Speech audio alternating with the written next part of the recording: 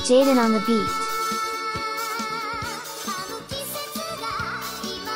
Get your black ass up.